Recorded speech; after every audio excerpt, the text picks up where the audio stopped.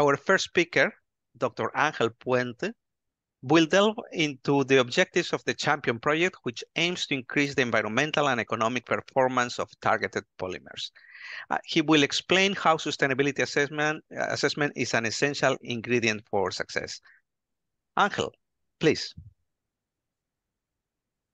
Thank you very much, uh, Sergio, for the introduction. Let me share my screen. And so I hope you are seeing the, the correct screen on presenter uh, models. Yes, oh. you are you are on the right screen. So yeah, thank you very much. So good afternoon, everyone. Thank you for joining this this series of of um, champion webinars. As uh, Sergio was mentioning, uh, the Champion Project is a BBI uh, research and innovation uh, action. And the main aim is to um, uh, produce uh, novel bio-based polymers in order to replace conventional polymers um, for their use in high performance application. And the project was launched in, in June 2020 and is about to end next year um, in May the idea of this webinar and, and, and also of this presentation is to discuss uh, altogether the, the, the, challenges of early stage assessment of sustainability. And also if we can say something about the absolute uh, sustainability. So there is can we assure that we are developing in, in such a project new products that uh, do not cross any any ecological boundaries? Um, so first of all let me um, explain a bit overall the overall objective of the project. Um, so the main, the main aim is to develop and demonstrate novel bio-based polymers. We are using for that the aza-Michael uh, chemistry. And in the end, these polymers need to have uh, high functionality. And this is one of the main uh, purposes. Um, uh, it's a functionality that cannot be met by the current fossil-based products and we are trying to to yeah to meet this functionality with novel bio-based and also with uh, uh, new polymer structures.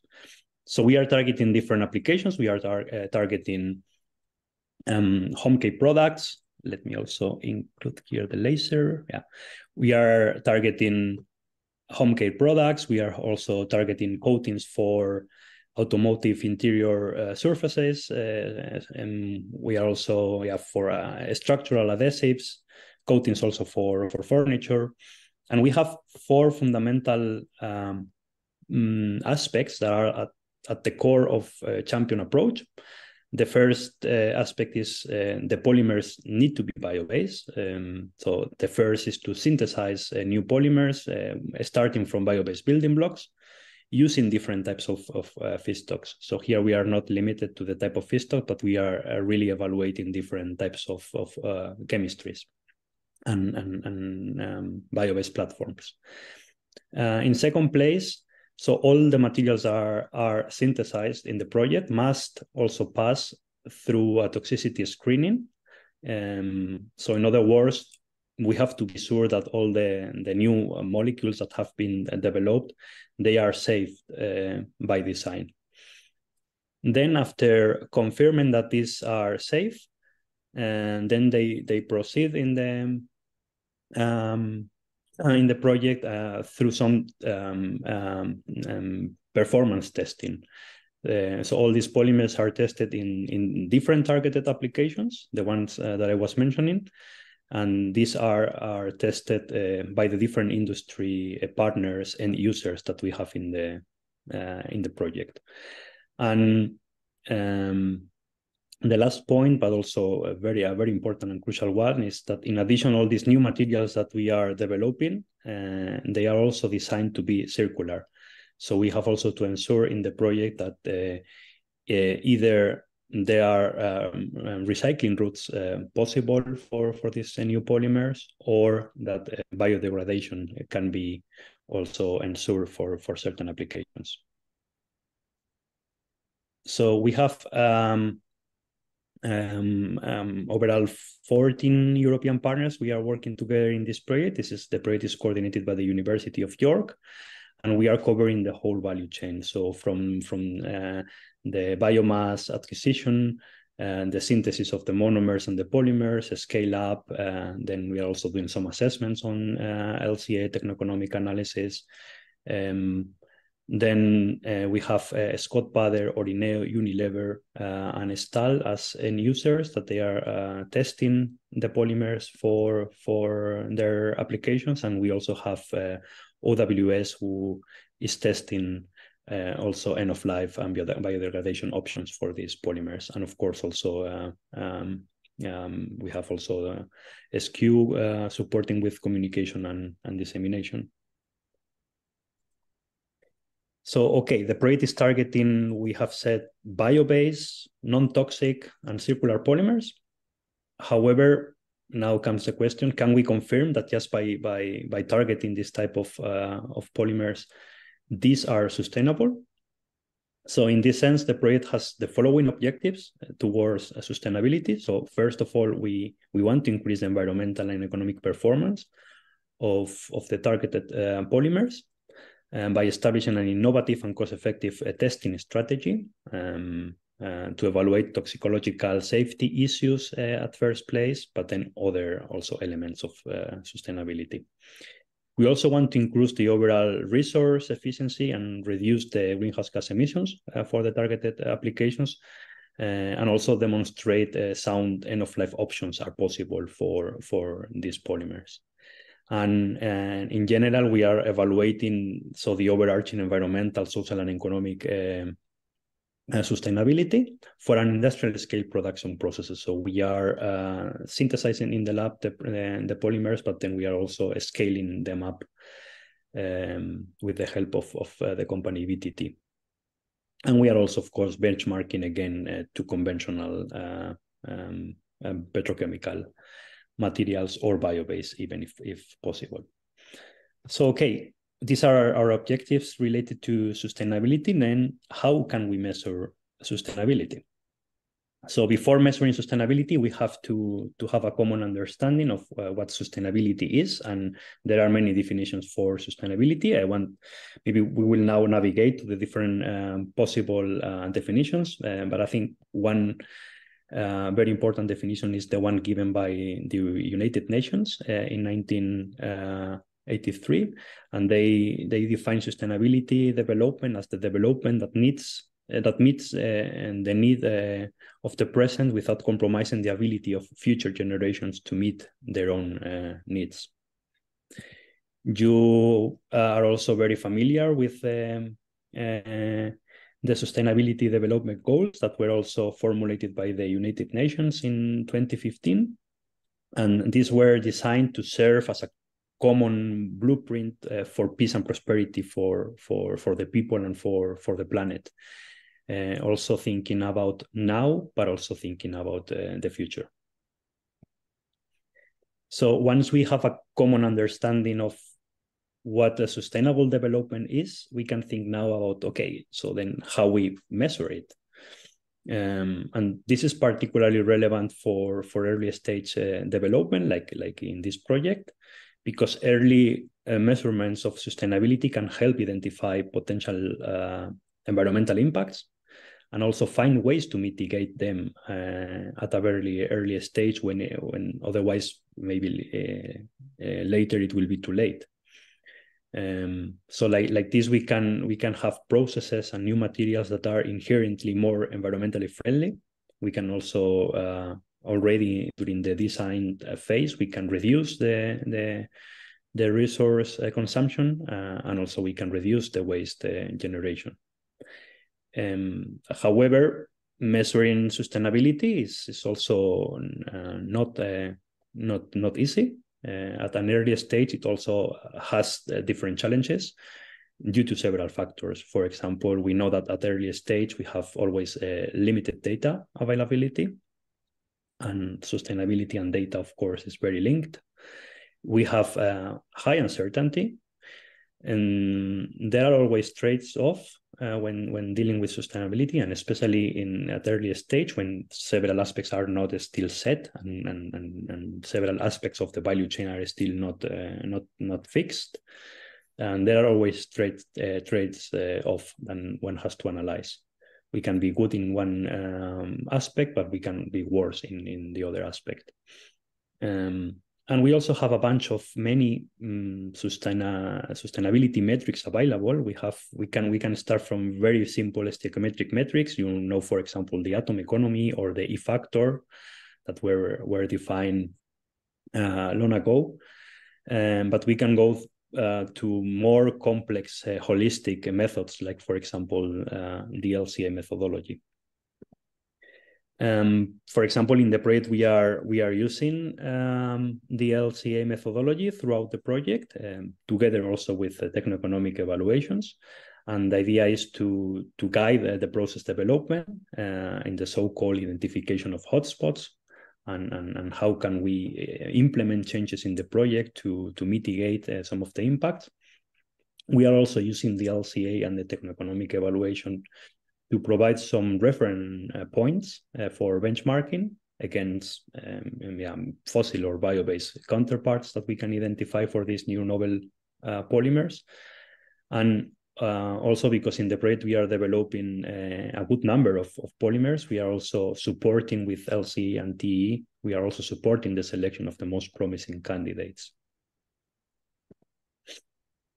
In our project, um, um, environmental aspects, measurement of the sustainability is very important, but we are also uh, aiming at circular products um, by design. This is also in, in, in, the, in the title of, of, our, of our project.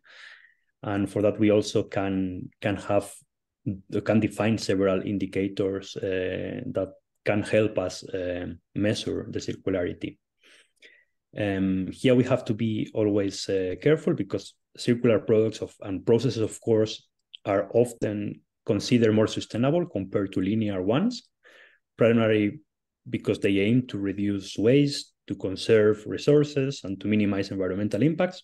However, the sustainability of circular products and, and processes depends on various uh, factors and, and, and, how they are implemented. So uh, the, the, the efficiency, energy efficiency, uh, resource efficiency, the type of environmental impacts that we are uh, analyzing. So not always circular means inherently uh, sustainable.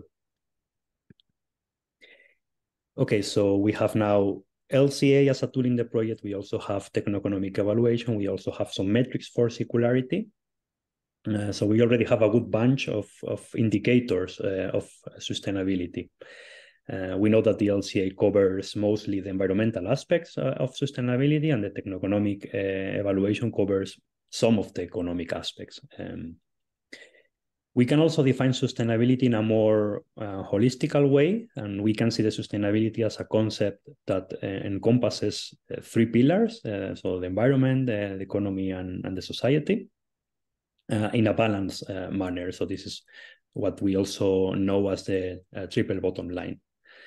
And you can see in this slide that different approaches for from simple metrics, like I was mentioning, atom economy, E factor, maybe just a carbon footprint, to to uh, more complex methods have been suggested, like the LCA or uh, life cycle costing. We also have social impact assessment, um, still in development, but but uh, but it is there. Um, or we even have some methods, uh, uh, like for example, those uh, cover here, that they also try to assess all the dimensions of sustainability. One example of this um, overarching or broader sustainability um, criteria for, for bio-based products is, is set uh, laid out in the European norm 16751. So this is an European standard that sets uh, horizontal sustainability criteria for bio-based products and covers these three pillars of sustainability, the environment, the, the social and the economic uh, aspects. Um, one limitation of this standard uh, targeting sustainability is that sets a framework for uh, to provide information on, on how to manage uh, to manage uh, sustainability, but it cannot be used to make claims uh, that operations or products are sustainable uh, since it does not establish any type of threshold of limits. So it's very difficult to talk about an absolute sustainability. And this is another topic that I think is in, um, relevant when we are defining what sustainable uh, development is, and we have to talk about the absolute and the relative sustainability. So if, if you see, in fact, many sustainability assessments that, uh, yeah, at project level, process, design, etc., they assess sustainability always in comparison to benchmarks uh, or to reference points. Uh, that is, so the sustainability is compared always to, to, to that of a similar process or product. Um, it is always or, or yeah, um, it's often always uh, possible or relatively easy to say that some products or services are more sustainable than others. For example, we can compare uh, commuting to work by bike is definitely more sustainable than commuting by car. So maybe this is a, a relative uh, analysis that we can easily uh, um, e evaluate. But most indicators of sustainability alone, they tell very little about sustainability. We also have to consider all together and always a deeper analysis is needed. Uh, we have to discuss things like, okay, uh, the, the application in which uh, a new material is used is, is, is appropriate. Uh, what are the end of life considerations? Uh, how is also the market uh, um, behaving? Uh, are there any consequential aspect uh, that might also influence in the future uh, sustainability? are also conflict of interest of objectives? are there also trade-off that needs need an analysis? So we also know that with so many indicators, uh, LCA and other sustainability uh, frameworks, they, they also offer what is called normalization and weighting. Um, this is a, a, tool that can help um, put um, sustainability into a context. It also adds more uncertainty, but it's definitely a tool that, that can help. But now we have the question, can a product be sustainable at all? So now we are talking about absolute sustainability. What is our personal carbon budget, for example? Is a product good or just less bad? Can we measure then absolute sustainability? So this concept of uh, absolute sustainability is also related to the concept of strong sustainability. Mm, so this weak and, and, and, strong sustainability are concepts uh, used in the field of sustainability to describe uh, different approaches to manage uh, natural resources and also addressing environmental issues. Um, weak sustainability, for example, um, is a thinking um, um, that is widely adopted in sustainable sustainable development and it suggests that natural resources can be replaced or substituted with other forms of capital such as human made or human capital uh, so in this view it is possible to deplete certain natural resources as long as an equivalent amount of capital is created in, in some other form um, in other words um, it it is giving priority, this uh, weak uh, sustainability, it is giving priority to economic growth and development over immediate environmental concerns. And this is so a, a technocentric um, view. And this could potentially lead to disregard the potential consequences of crossing critical ecological uh, boundaries. On the other hand, we have a strong sustainability, which uh, suggests that uh, there are ecological limits uh, to resource uh, use and that some natural resources are so critical to the functioning of ecosystems and human well-being that their depletion or degradation should be avoided at all cost. Um, so this perspective is emphasizing the need to protect and preserve ecosystems, biodiversity, on top of, of uh, economic growth. Um, and this is an ecocentric uh, vision of sustainability. Um, so the concept of planetary boundaries uh, is also very closely related to the idea of strong sustainability. Um, so you might have heard about the planetary boundaries. Uh, the, so these were introduced by a group of uh, Earth system scientists in 29, and they identified a set of uh, nine critical Earth system processes or boundaries that, if crossed, could lead to irreversible and, and abrupt uh, environmental changes, uh, also putting in, in danger the stability of the planet and, and, and the people.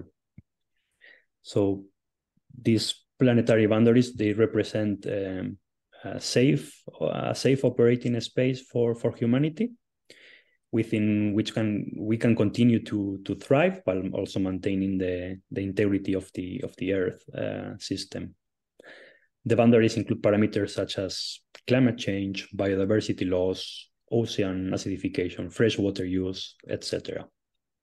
And as I said, crossing these boundaries could trigger some effects and tipping points that would result in potential mm, catastrophic environmental disruptions. I will put it like this. Um, for example, this is very recent because in, in the, now in this month, in September, uh, so a team of, of, of scientists, um, they have uh, quantified for the first time all these nine uh, processes that um, regulate the stability and, and, resilience of the Earth. And with the last update, uh, um, apart from not only from quantifying, they also have concluded that six of the nine boundaries have uh, been crossed. Uh, you can see here the evolution from from the moment in which uh, this um, framework was defined in 29 and yeah and only in in in, in less than 20 years uh, you see what is the the the, the sad evolution so coming back to our question um, can we measure sustainability at an early stage of development? And if so, can we say something about absolute sustainability? Can we make sure that we are not damaging the planet by um, yeah, um, synthesizing something new? So on one hand, we have um, LCA, for example, as a micro level tool, which is focusing on a specific product or process, and it quantifies environmental impacts uh, associated to a particular activity or product and allows also the comparison between alternatives. On the other hand, we also have the planetary boundaries uh, as a macro level concept that uh, consider uh, the overall state of the Earth uh, system. So while LC and planetary boundaries, they, they serve different purposes and operate at different scales, they can complement each other, um, um, yeah, pushing towards sustainability. LCA can provide a detailed assessment of a specific uh, activities, and the planetary boundaries can offer a global framework for understanding this uh, overarching environmental context in which these activities occur. So together they can inform more holistic and sustainable uh, decision making and, and, policy development. Uh, but of course, we have the questions: Can we apply this analysis uh, and this link of LCA with uh, planetary boundaries to a project? Can we apply this at an early stage of development? Can we define safe thresholds per application or per sector? I'm not talking about uh, the whole uh, Earth system. So this will be part of the of the second uh, presentation from from my colleague uh, James Sherwood. And yeah, just with this slide, I, I, wanted to to summarize a bit some takeaways uh, uh, of this first introductory talk. So first of all, we need to consider sustainability during development otherwise it will be too late. We know that sustainability assessments are multi-criteria analysis. Most indicators alone say little about sustainability. Always a deeper analysis is needed. So we have to put everything into the context of an application, of, of, a, of a region, etc. Um, weak sustainability thinking is widely adopted in sustainable development and this could potentially lead to disregard the potential consequences of crossing critical ecological boundaries because of the difficulty of assessing absolute sustainability. However, this evaluation of absolute sustainability is not straightforward, um, especially for early stage uh, development. So in the next presentation, you will learn more an applied uh, example. And thank you for your attention. I'm happy to answer if there are some, some questions. Thank you. Thank you very much, Angel. And uh, please, anyone can uh, um,